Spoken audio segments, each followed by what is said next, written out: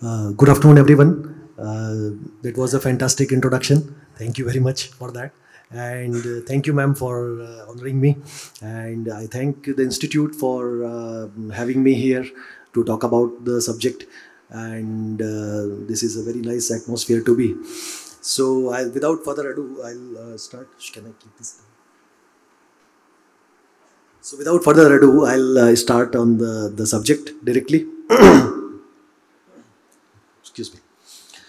So, uh, I started working on uh, music in uh, Harappan period and other ancient periods in India in 2011, and since then I've been working on this. And uh, uh,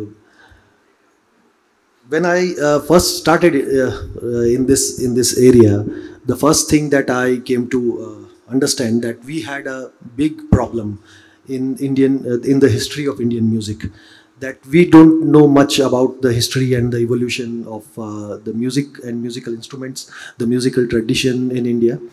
Although our civilization, we say it is so thousands of year old and all that, but we we don't know much about the, the evolution of music uh, as as uh, as such. Um, so from uh, from there it started, and uh, uh, me being a musician, uh, first and foremost, my uh, understanding of the subject or the objectives uh, with this uh, research was were not only the to know about the instruments, but also uh, probably to recreate the instruments and uh, find out what kind of music is possible with them and uh, use them in in uh, music today in, in popular music productions so that they can there, there can be an actual revival of the instruments instead of just uh, theoretical uh, framework we create to understand them. Because uh, in creativity and in music there is uh, there is nothing like uh, this instrument is of that period. You cannot use it in this period. That doesn't happen like that we can use uh, anything creatively whatever uh, we we use in things uh, in music production today which are not at all musical instrument to begin with and we use them to make music. Uh, we can use anything that creates sounds we use that. We use spoons we use uh, utensils we use many things. So these but these are the real instruments. These are the part of the evolution of our uh, musical history so the the as you can see on the screen we had uh, the, the objectives i had was one of one obviously before first of all you have to discover and understand and learn them. And uh, for that uh, we used archaeological records iconography toy forms of instruments likely non-perishable parts of instrument which are found. Uh, i'll talk about them in just a moment. As well as comparative study from uh, uh, of the instruments from not only from Harappan uh, uh, sites as well as the places with which Harappans traded. Because when there is a trade, when people move, uh, their culture go with them uh, without uh, any other for without any other reason. Uh, because people have all kinds of uh, rituals, they have religious practices, marriages, birth, childbirth. That music is part of everything. Uh, so uh, that is uh, natural to think that if people will go to other places, their culture will go with them. So collectively, we have identified about uh, 20 musical instruments from Harappan period. I'll talk about them in just a moment. Then uh, we, have already recreated some of the uh, Harappan instruments, uh, about uh, 10, 10 of them. These are the early prototypes. I'll show them in a moment. And we, of course, I intend to fully recreate many of more, many more of them.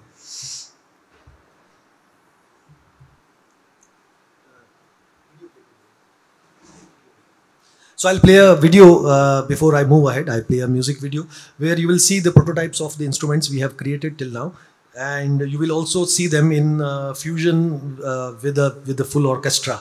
Uh, that, as I mentioned in the beginning, because that is the only way these instruments can come back to life. There is no other way, uh, in my understanding of music industry and music uh, as such, that unless we find ways to use them in modern music, Uh, it will not happen.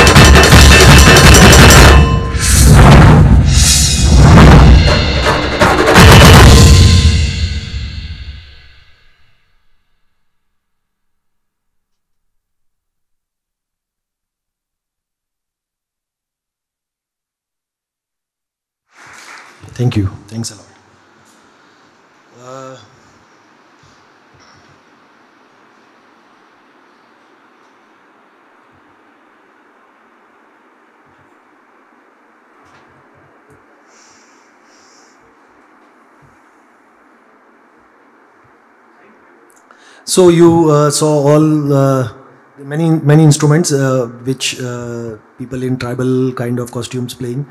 Uh, the, the, the very surprising thing uh, would be not I wouldn't say surprising actually, but interesting thing is that there is the continuity of the instruments. Apart from one or two things, most of them are still continuing all over India in a variety of evolved forms and things. Uh, of course, harp and lyre category disappeared from India completely at, at a later period, not in the in the Harappan time, but in the far later time than that. And the use of a pottery system in the in the making of uh, musical instrument uh, probably is the pottery system is probably the most important uh, it has played the most important part in the manufacture of musical instruments uh, in the in the drum variety of drum instruments in India as we see till today tabla for example is ultimately a kettle drum it is a pot with a with a with leather covered on it uh, similar to uh, instruments uh, mentioned in many ancient literature. For example, Dundubhi in Vedic literature is a kettle drum, which is a huge metallic vessel with leather covered on it. So pottery system contributed a lot to the, the manufacture of musical instruments. Mridangam, as we, we know, Mrida probably basically a um, earthen pot of a different shape with leather covered on both the sides. so uh, I'll, I'll get into some of the evidence which we have found till now. Uh, archaeomusical, I'll, I'll just give one, one, one more important anecdote here. Not anecdote, but uh, archaeomusicology or musicology as a whole is it is inherently multidisciplinary. Uh, when when you get into uh, musicology, you you don't know what you are going to encounter because let's say for a, for an ancient culture, you, the, we have to rely on archaeology for the evidence. Uh, if we are studying names of the instrument of any any culture, then uh, linguistics uh, get into the in, into the consideration because names belong to a language and we have to study the language itself then. Uh, manufacture the material used in the manufacture of musical instruments also bring many more subjects uh, in the in the discussion. So in, in, uh, uh evidence in Harappan archaeology, we have uh, found harp, harp arched harp, an instrument shaped like a bow that is found on the seal. it, is, it is also part of a script. Uh, vessel flutes which are found miniaturized as toy whistles. Toy whistles are very famous objects. We all uh, know them. I, am sure in, in the lecture before, just before this, uh, he showed toy whistles to us. Uh, long drums, as you saw in the video, uh, are also found on seal. Damru is also part of the script. Uh, in stringed category, we have multiple specimen of tuning pegs. I'll just show you with the pictures in a moment. And we also have instruments like uh, rattles and shakers. Uh, multiple of uh, terracotta specimen have found of them. So this is a seal which depicts arched harp. It is a symbol in the script also. Uh, this is the seal which shows a long barrel drum near the tiger, a man standing near the tiger playing the playing the instrument there. I'll just use this pointer. That one. Here, these are the drums which I showed in the in the video, and the costume they are playing. That is uh, uh, some tribal costume that I I was studying on tribal music, and I found this tradition of headgears continuing there, so I have used that. These are the uh, the toy whistles which are found in, in the upper picture, and these are the continu- uh, still continuing instruments in Sindh. This one in Gujarat. This one. Uh, and these are the toy whistles from Harappan period. These are the real instrument. They can play the melody, quite uh, complete melodies. Uh, the only difference between the Harappan toys and modern uh, instrument is just number of holes, except that it is practically the same thing.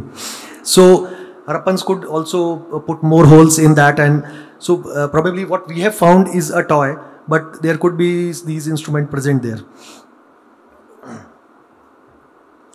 Now these are the, uh, as you can see, we uh, use, uh, show, shown in the picture with arrows. These are the tuning pegs. Now tuning pegs themselves don't make any sound by the way. They are just pegs uh, which are used to uh, tie the string on one end of the instrument and uh, this end this can be the tuning can be changed you tie it more tighten it more the pitch of the instrument will go up you loosen it pitch will go down and this is present in majority of Indian instrument. Uh, such tuning pegs are, this is very peculiar to Indian instruments. Uh, left is Sindhi, Sindhi Sarangi, upper one is the sitar, here is the sarinda. Similar can be found in Rudravina and uh, countless Indian instruments. And these are the some of the Harappan specimen found, which are uh, pegs made from terracotta. As you can see, their shape is still very similar to the uh, the, the, modern uh, tuning pegs. And but we went further to, to, do, to, to do a comparative study. more Harappan pegs. Yeah, here you can uh, see on the left there is a Harappan specimen, on the right there is a modern uh, tuning peg of, of a sitar, which is used for some years. I took it from a musician. And as you can see, the lower half of both, both the specimen are damaged more than the upper because this is the part that goes inside the body of the instrument and it is uh, constantly rotated. Therefore, that part gets damaged more than the upper part due to continuous uh, rotation of the peg. Let it be here. Okay. So, uh, secondly, there are string marks uh, above, just above the that lower damage half. Uh, here you can see on this Harappan peg, and here you can see on the uh, the, the modern peg. The of course uh, these the Harappan marks are slightly wider, probably they uh, with the time also, but uh, mo most uh, mostly it is because of the type of string used in those times. It is most likely that they used gut uh, strings, which are still used, by the way, in sarangi, in ravanhatta, and in many other instruments. We use gut instrument uh, gut strings, so that will uh, leave a little bit wider mark of the string than the modern metallic strings. But it is remarkable to see that continuity. Uh, you, it is really remarkable. It's so the, the, the, the, difference in time in between both the, these pegs is around 4,500 years or something like that. but uh, whatever evidence uh, I discussed just now, and there are some more, we have also found a, a sound box of a, a lute uh, made from terracotta. But still, for a civilization like Harappa, uh, this is very little. I mean, we are talking about urban civilization, people who made planned cities and they sent ships to all over the world and they uh, uh, made uh, uh, drainage system and water supply, man water management systems. it is it is quite obvious that they had comparable musical systems as that of the any other contemporary civilization. But there are problems in the Harappan records that makes it difficult for us to identify them. One of them is the perishable nature of the instruments. Uh, the, the, the, material used in the manufacture of the instrument are mostly perishable in nature such as wood and leather uh, gut strings or any even metallic strings will not survive for this long but the most important point here is the the, the, the absence of uh, big structures like central palaces most importantly, elaborate elite burial, as we find in Egypt and uh, Mesopotamia. Now, there, uh, uh, in fact, most of we most of the knowledge we have about Egypt and Mesopotamia are from their burial uh, burials, the the pyramids and the uh, burials, uh, the cemeteries in uh, Mesopotamia. But here, because we uh, probably did not have that kind of tradition, and we still don't have, uh, that is one place where we could find more evidence. But that place is absent. So, on top of that, the, the nature of the seals is also standardized. I mean, uh, on the seal, you all you have is uh, some animal motif and a st- small string of uh, Harappan script, and nothing else. So it doesn't tell anything about music. The the nature of seals is such. Not only the mu- music, but any other aspect of life you don't get from Harappan seals. There are not much narrative seals or um, stuff like that. But as I mentioned in the beginning, there are still uh, uh, other avenues for get to, to get more knowledge because the when people move, culture move with them. So uh, Mesopotamia uh, was is one of the most important uh, place to study in this in this uh, respect because we had a, a very elaborate trade. It is well established by evidence.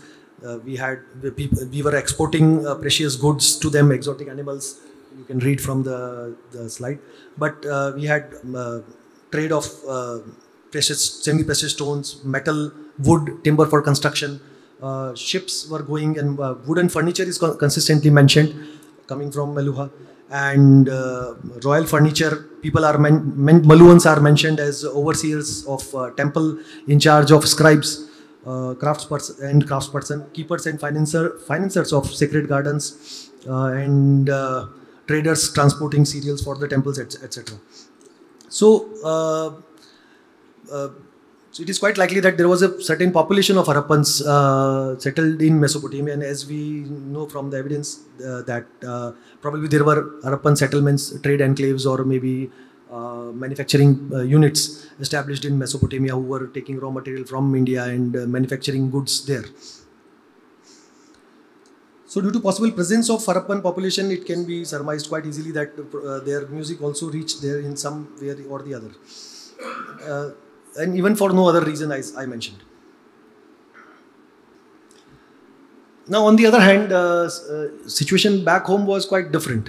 Uh, uh, while I'll just quote one one expert here, Massimo Vidale. On the basis of present evidence, I'll just read it out.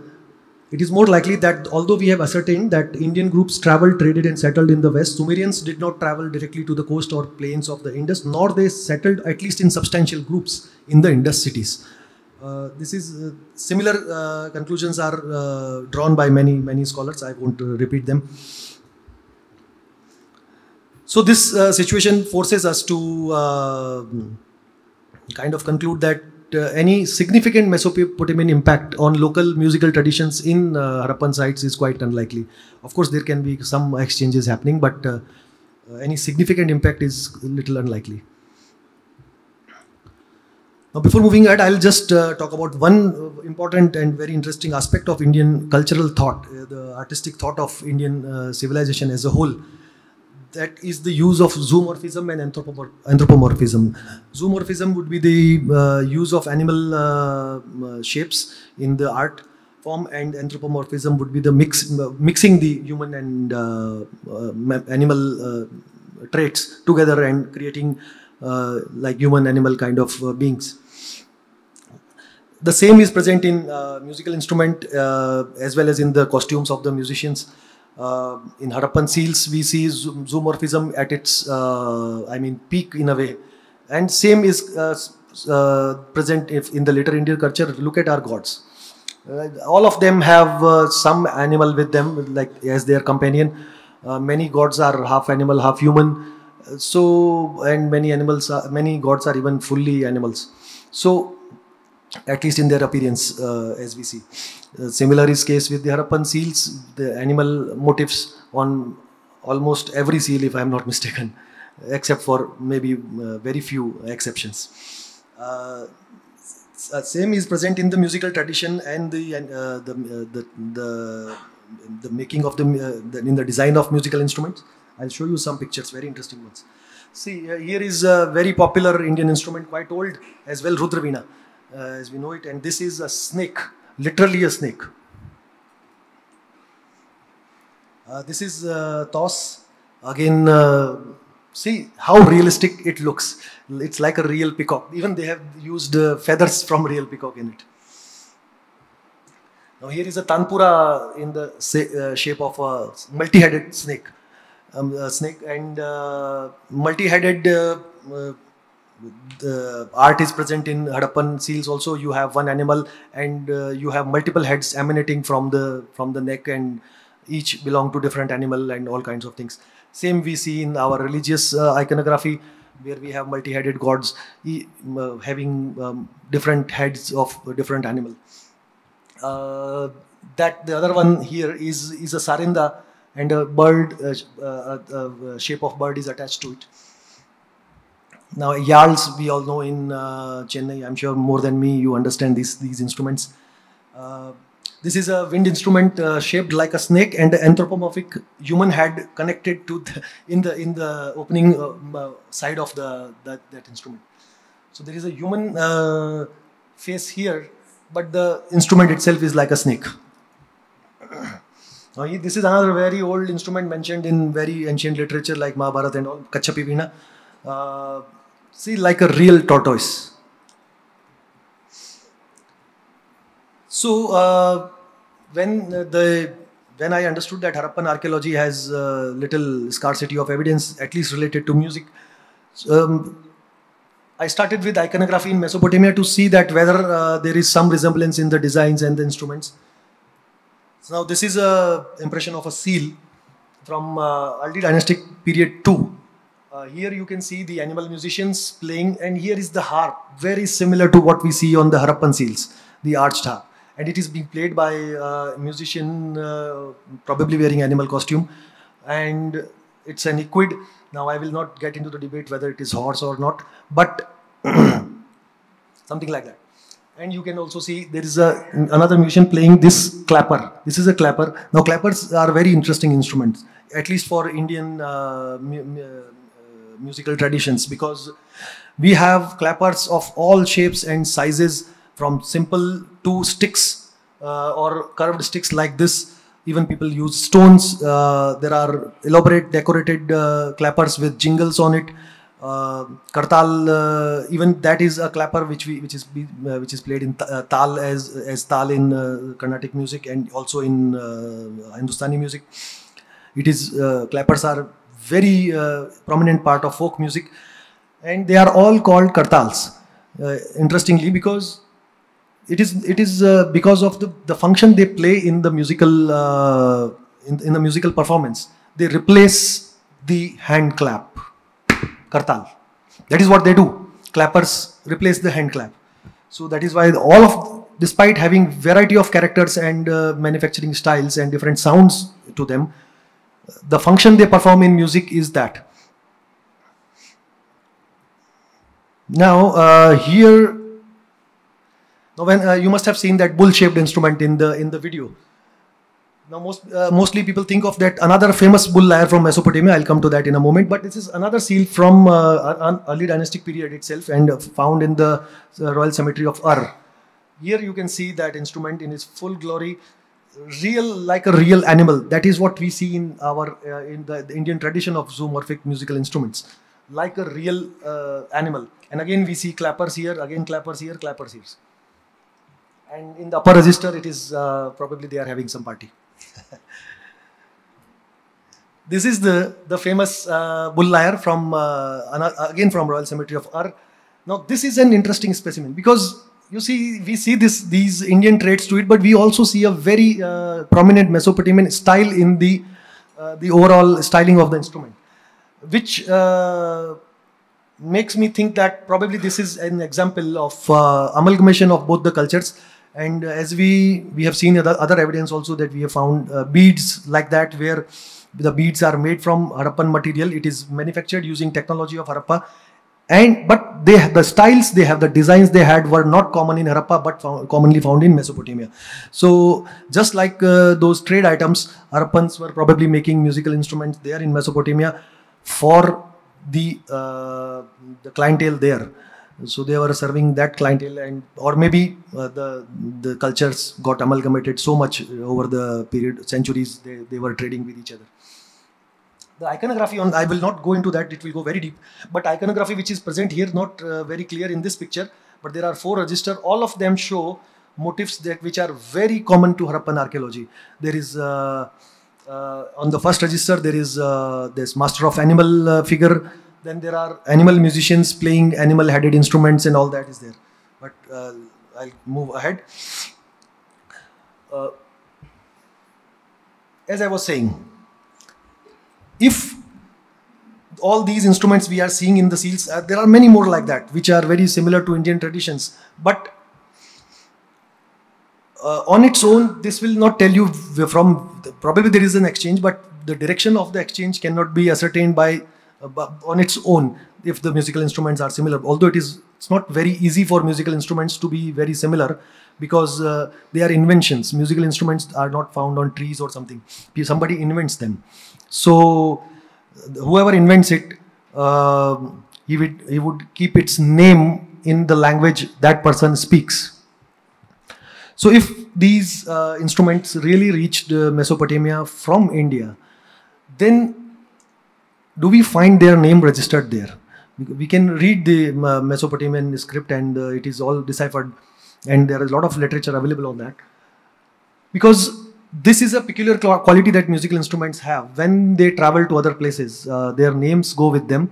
Uh, it's a very small uh, thing, but how significant some small things can be, we will see in a moment. Uh, like harmonium, for example. Harmonium is played in, in India everywhere, and everyone calls it harmonium. Harmonium is not an Indian instrument. It came from Europe very recently, and even a completely uh, illiterate person in English will still call it harmonium. So that is uh, because the name of the instrument is a, like a technical term. And when a person comes from somewhere outside and playing some instrument, you go and ask him what you are playing. And then he'll tell you the name of the instrument, what he has given or he knows and that's that is the name which becomes popular in that other place also. For example violin and the uh, cellos and violas guitars all the western instruments which are played in india are called they have the same names. We don't have the other any indian name or any, in an indian language for them. So if uh, these instruments actually travel to mesopotamia did their name go with them? So let's get into that but before uh, going into that, I would uh, quickly go through what were my criteria to find out a, a positive result. Uh, the the terminology should be not only similar uh, in in its um, in its sound phonetically, but also semantically. That means there it should mean exactly the same or very similar within the same context. It should be verifiable completely. That uh, uh, like there should be generally no need to invoke some proto roots and create some unattested combinations using them. And uh, so th these hypothetical occurrences were deliberately kept out of the out of this work. Like for for easy example if a word just sounds indian and may be created by combining these two indian uh, terms uh, was not considered a positive in uh, in positive result in this case. On top of that the phonetic variations Obviously, there will be some phonetic variations because uh, the languages are too different from each other. But and the scripts are very, the, the it's not just about the language but also the script what scripts allows to write. Uh, for example uh, I'll, I'll, get to that in a moment.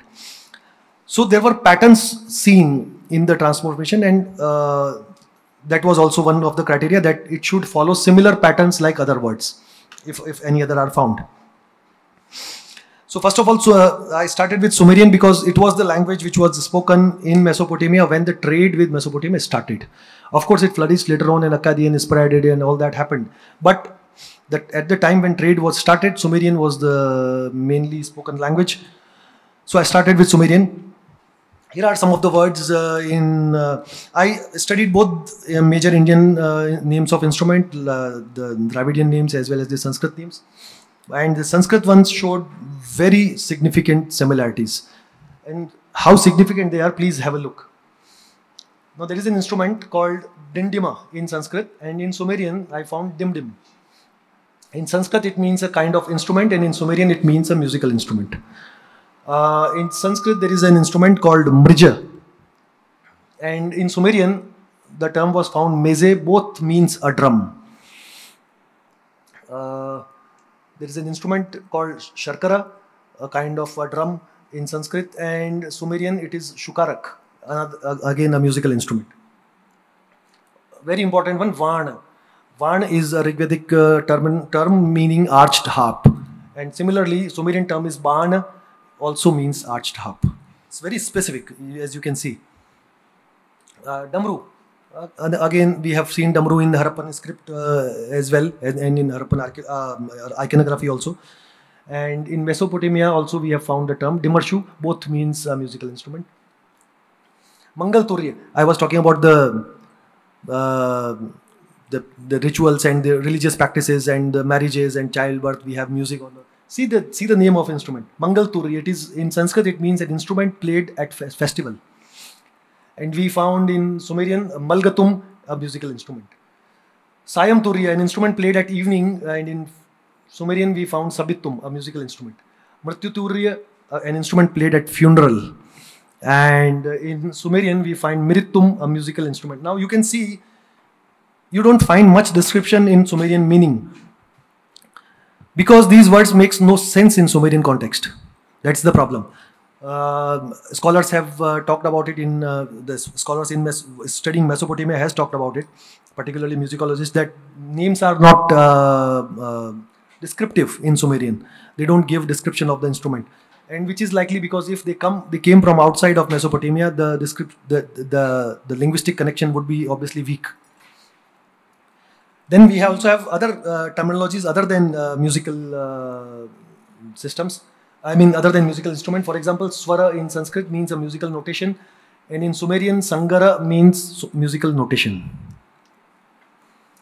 Uh, Shadaja is another musical notation, and Sagida in Sumerian is also a musical notation. Gargara in Rigved, it is a musical instrument, a lute most likely. And in Sumerian, we have Harhar or Gargar, a musical instrument. And so on and so forth. I won't go in all. This is interesting. Mm, uh, Sindhu, Sanskrit Sindhu is name of Sindhu is the name of rag in Indian classical music, and there are many ragas uh, of similar names such as Sindhu Bhairavi, Sindhi Bhairavi, Sindh, Sindhura, and Sindhura Bhairavi. Very similar names, but they are slightly different ragas. They are not all same. And of course, Sindhu is the name of Indus River. And see the list we I found in Mesopotamia.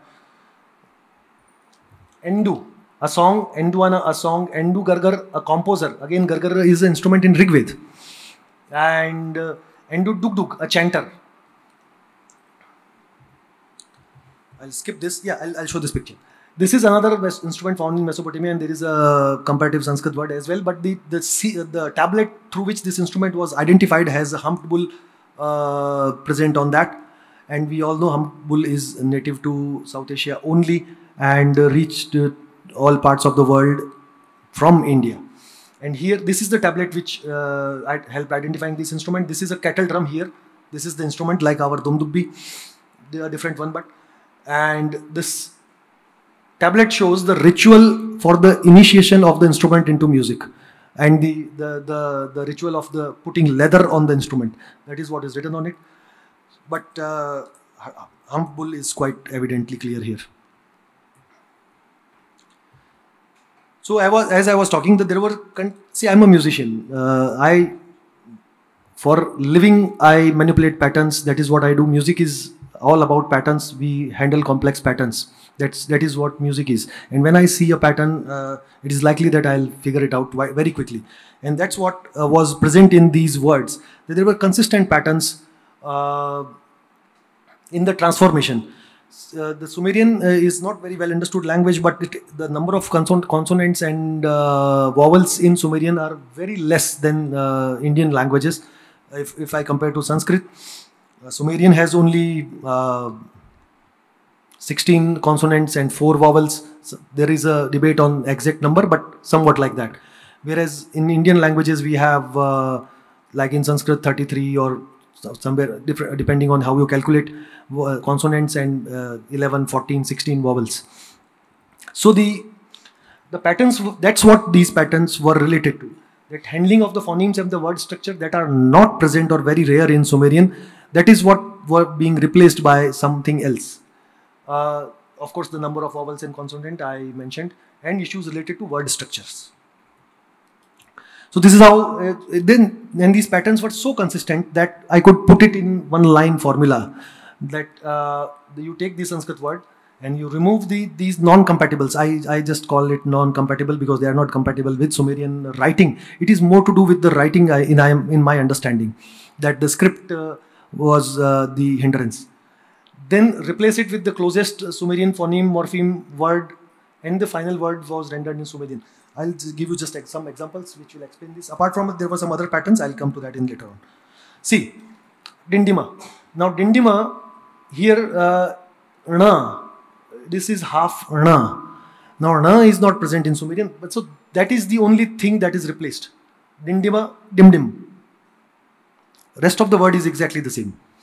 Mrija, now in Sumerian, you cannot have a word that has two consecutive consonant in the beginning of the word or in the end of the word. Here in Sanskrit word, there are two consecutive consonant in the beginning uh, that cannot be written in the cuneiform script. So they turned into mese. Kola, kola is a measuring unit in Sanskrit. I'll come to that in a moment. And uh, that is found written as keel because O vowel is not present in Sumerian. It is very precise, as you can see. Swara, again same problem, two cons consecutive consonant in the beginning, and that is what is replaced. It became Sangara. Another pattern which I found was uh, the clipping. It is the uh, formation of the word by removing some of the, the segment. For example, we call phone, uh, which is made from telephone actually, and the tele is clipped. Or net for internet or varsity for university. Uh, same phenomena is present there. Uh, Kinnara is an anthropomorphic musician in Indian tradition, and we see in iconography in Mesopotamia we saw the uh, animal musicians. And in Sumerian, the, the term is registered as Nara, which means musician only, but it is a clipped form. Similarly, Salika is a flute, and it is written in Sumerian as Sali, Ka is clipped. Adambara, another drum, a drum uh, in uh, Indian context.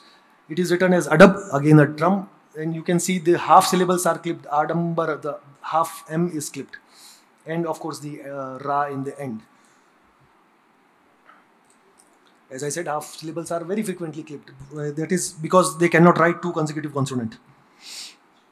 The another very interesting pattern was found, which I call Tum pattern. This is uh, whenever there is a word which is very complicated from the Sumerian point of view and it also has a chunk of uh, non-compatible at the end of it.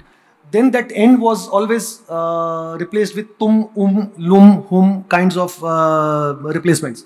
For example, Mangal Turya. This is very complicated for Sumerian to write. Mangal Turya is complicated. They made it Malgatum.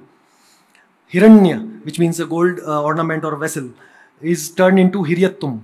See, here, here sound is not present in Sumerian. That's the trouble and the turya, the entire turya thing is complicated. Anya, this ana is not there and ya is also not there. So hiryattum. Nepathya, again tha is, they don't have tha, they don't have ya. So it became nabihum. And they all mean exactly the same, by the way. I'm not, uh, the, the meaning of these are exactly same in both the languages.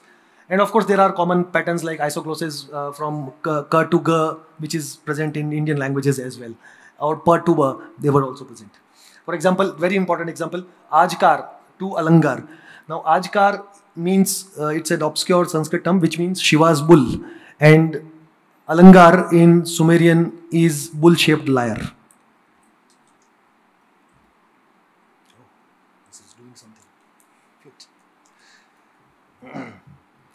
Okay, I'll just uh, show you a few more examples and I'll move ahead.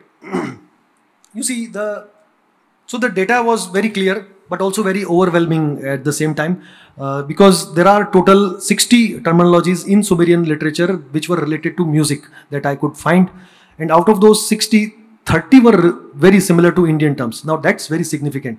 Such data gives a headache to the scholar. And uh, I also got that headache for many days. And um, so how this could be verified? That was the problem. That uh, number one, again, like iconography on its own, this data doesn't give you the direction of the exchange. It gives you because now now it is the similarity is quite evident. It is quite clear, and names of musical instruments cannot be same uh, or musical notation cannot be same randomly. That's not possible. It's very difficult. That too in such significant quantity, especially among the people who uh, talk in completely different languages. So how this could be verified? That verified that was my problem at that moment. So uh, the hypothesis was that if this list is correct, what this suggests and the kind of cultural impact it shows, of course we can verify it using the supportive uh, uh, data we have from archaeology and all. But still, uh, in, in linguistic, how can we? How could we do that?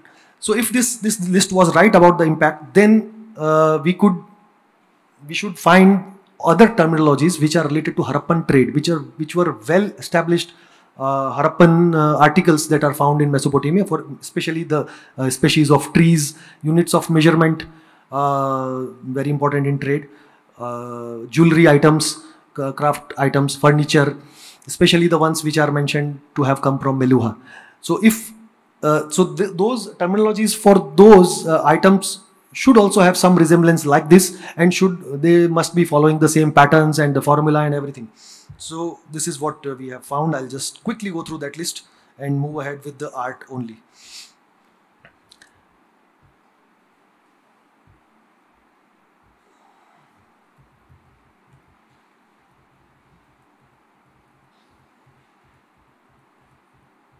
Yeah see units of measurement obviously uh, harappan uh, all we know harappan uh, unit weights are weight measures are found in Mesopotamia, and of course for trade you require units of measurement. How will you do the trade otherwise? Or for even for the craftsmanship, you would need uh, units to measure things to make things accurately, particularly furniture work. Uh, yes, Sanskrit word man, as you can see, uh, and Sumerian word is man, exact same word. It is a unit of weight. This is also a unit of weight. Uh, pan Pana is a unit of weight uh, in Indian tradition, uh, and Ban is the unit of capacity uh, in Mesopotamia. P2B, I have already mentioned, we, we have seen consistent patterns for that. As I already discussed, coal and keel.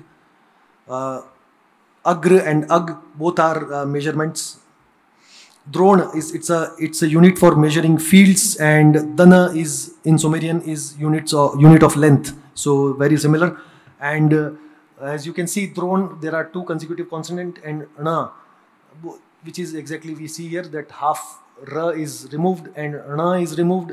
Rest of the word remains the same. Uh, goni to gun again o is not present na is not present. Uh, I'll go to the next category. Yes, the woods, very important one because uh, this gives us double verification uh, based on their, not only in them, they are mentioned for come as, as uh, uh, to have come from Meluhha, as well as their uh, natural habitat also gives us more information regarding that. So this is the most famous example of Harappan trade.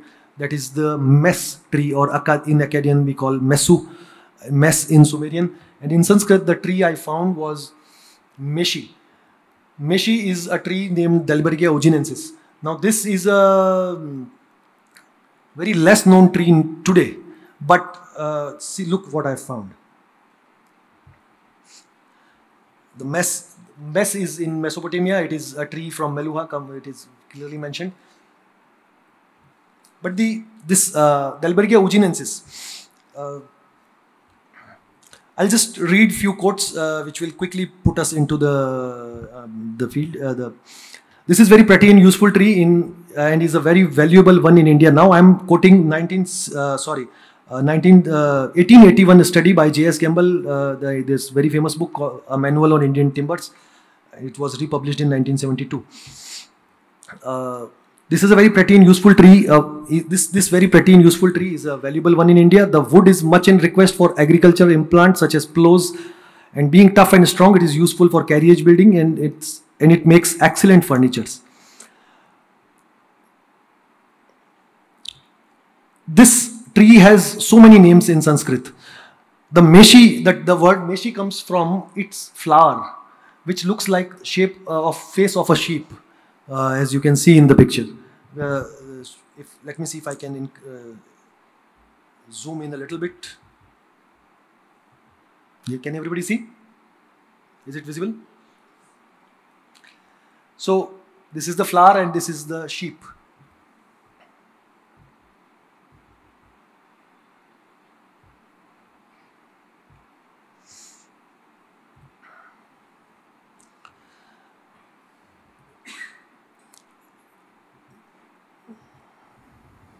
Yeah.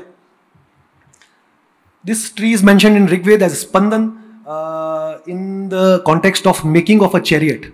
Uh, it is uh, this this I found about uh, more than 25 names of this tree in variety of Sanskrit literature. Uh, Sendana, Sendandruma, Sendani, which uh, which is derived from Sendan, a war chariot, chariot or a car. Um, Akshaka, Akshika or Akshika. Aksha is an axle or axis of a wheel, cart or uh, beam or chariot. Chakrin is another name for this tree. Uh, chakra means wheel.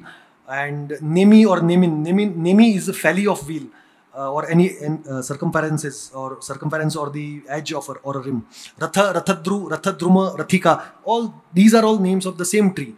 Uh, Rath is all we already know, it's a war chariot or a chariot. Shakata is another name of this tree, and Shakata means a cart or a wagon or car. So, and very interestingly, it is called chariot tree in English. Uh, this tree is uh, native to Indian subcontinent only. Nowhere else it is found, neither in Central Asia nor in West Asia. Um, uh, its uh, wood is, as we have already seen, it's used in uh, is useful in variety of ways. Nowadays, the the natural stand of this tree has gone very low. So, if if there is a very useful tree where you find it today, and I would say nowhere because people would have actually already used that. If it was useful, then it was used consumed so today the natural stand is very low, but uh, it has other usage like uh, uh, its bark and its uh, gum is used in medicines. It is a very beautiful tea because uh, when it, when uh, in the right season, it will it would shed all its leaves and it become a full flower tree. So looks very beautiful. interestingly, I have uh, uh, what I have found in Mesopotamia is the Harappans are mentioned as keepers and financiers of sacred gardens, as I mentioned earlier. And one of the term for gardener in Sumerian and Akkadian is uh, uh, Sandana or Sandanaku. Now, Sandan is another name of the same tree. Uh, no, no, yes, not to be confused with Chandan. Sandan or Sandan, it's local, it's a colloquial uh, term for the same tree. Came from Syandan. Yeah. And its tree, its leaves are trifoliate, and trifoliate designs are heavily present in Harappan uh, art. So, uh, and in Mesopotamia, it is uh, very well established that mes tree came from uh, uh, Harappa.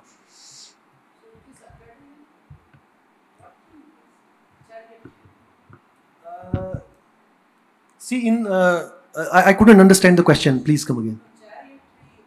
Yes, in English. Is in English it is called chariot tree. In Akkadian, it is uh, called Mesu. One name is Mesu. In Sumerian, it is Mes. And uh, another term uh, for gardener I found in Akkadian and Sumerian is uh, Sandana or Sandanaku.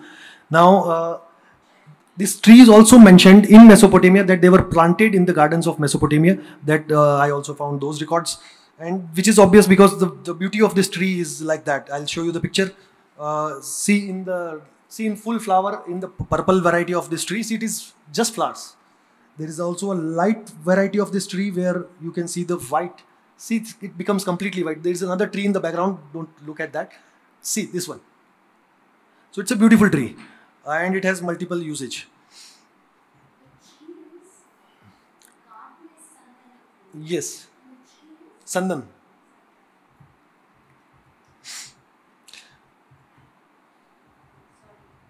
No, it's okay. I'll just. Uh, oh, this jumped somehow.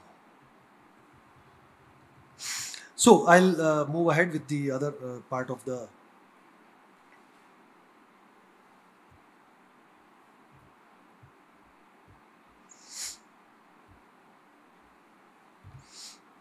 So there are, uh, apart from uh, these 30 musical terminologies, there are uh, 60 more terms were found that were related to all these categories. I have not mentioned uh, jewelry. There are a lot of terms related to jewelry. One, I'll uh, give only one example.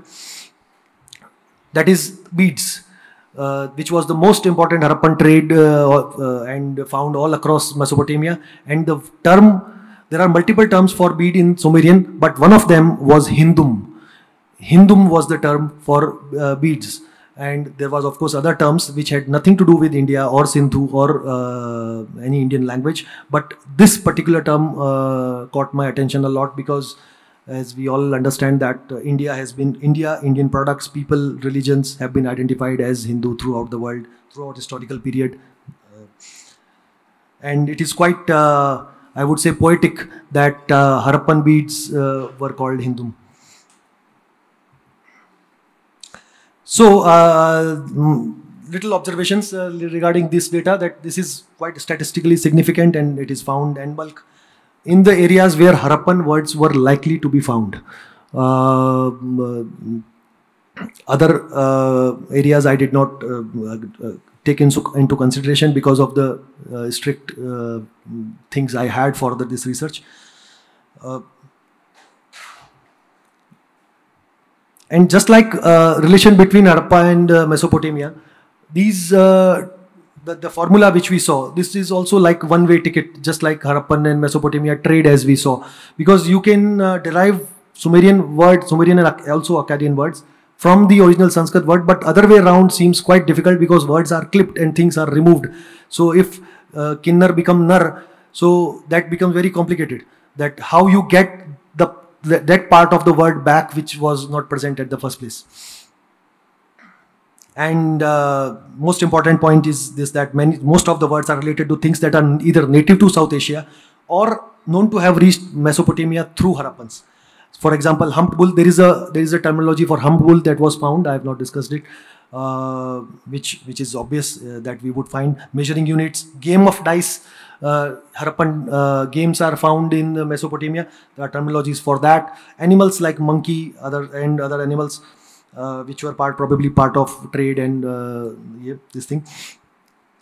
And all these categories have words which correspond to Sindhu. The in music we have words that are found which are similar to Sindhu. In uh, trade we have found words that are similar to Sindhu that is beads I have already mentioned.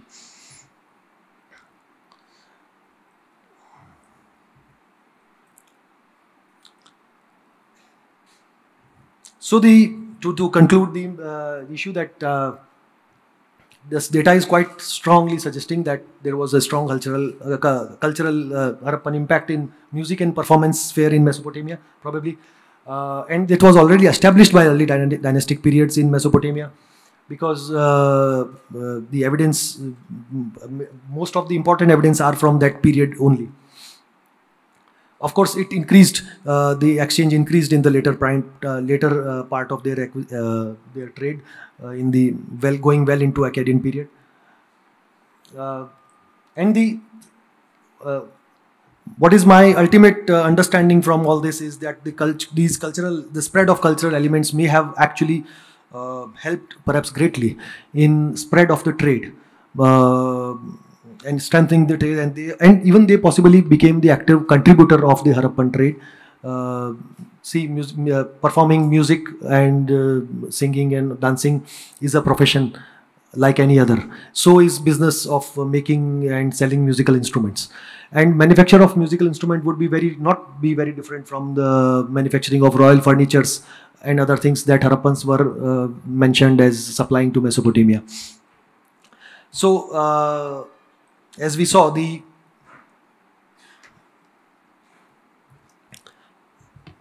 the see the music music was never uh, in our uh, context music was never studied like this.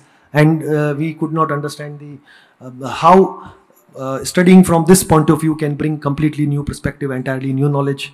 Uh, so it is i would they are all archaeologists here so i would request them to look into this direction that how useful arts can be in understanding the history. It has been neglected a lot throughout the, the, the, this, the historical studies. Thank you. Thanks a lot. If we can have some questions, I'm willing to answer them.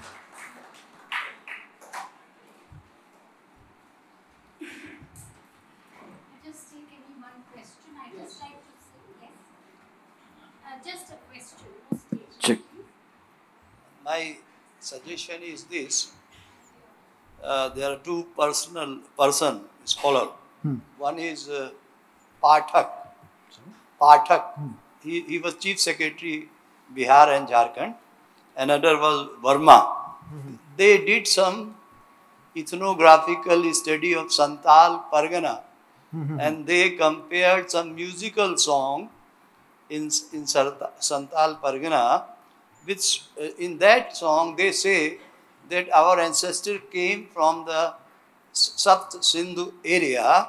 So uh, it will be more interesting if you visit Santhal area and do some documentation of their musical festival. Thank you. Thank you. Thank you. Uh, I've been, uh, the, of course, there is no end to learning new things, but I've been uh, looking into tribal music, uh, as you saw in the video also, the, in the costumes, in the musical instruments, because they have given me a lot of knowledge in this area, and especially in the understanding the continuity of the instruments. Uh, but I will look more into as you suggested. Thank you very much. I'd just like to say one thing that the harp Yes. on the animal is very common in the south. In- We have a Yes, museum yes, in it is. Yes, it is. That's what I said. uh, Shakuntala Jagannath Museum of Folk Art, where I have a Matsya yazh, Yes. which is a Matsya, Yes. Yes. The other is the terracotta instrument, the ghatam, is still very Yes, they are still in practice. Yes, of course, they are. in, uh, Yes, yes, yes. in. Yes, even in uh, North Indian music and in folk music. In Rajasthan, in Punjab, in Gujarat, in folk music, uh, uh, vessels are used both metallic and uh, terracotta till today.